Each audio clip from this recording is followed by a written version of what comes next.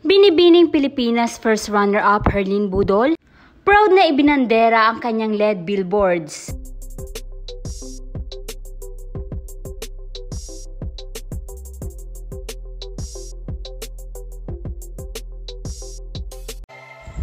Yan ang trending! Ilang araw matapos ang Binibining Pilipinas Coronation Night, ngunit patuloy pa rin ang paggawa ng ingay ni Binibining Pilipinas first runner-up, Herlin Budol.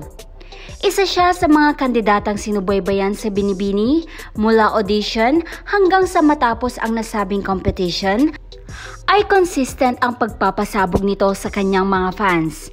At ngayon, viral ang mga billboards ni Herlin Budol. Sa post sa kanyang social media account, nagpasalamat si Herlin sa mga sumusuporta sa kanya at anya pa, isang ordinaryong squammy nangangarap, ngayon asa LED billboard na hipon girl nyo.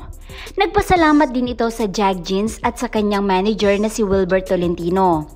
Salamat kay Manager Wilbert Tolentino na tinupad lahat ng pangarap ko at yung tao na nag-embrace sa akin, Madam Inuts.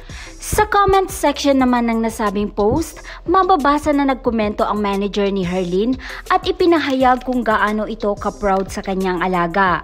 Hindi lang ang pamilya at kaibigan ni Herlin Budol ang proud sa kung ano man ang narating nito ngayon, maging ang mga fans at taga-suporta nito.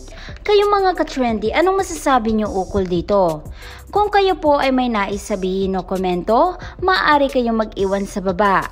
And please hit like and subscribe button para updated ka sa mga trending news tulad nito.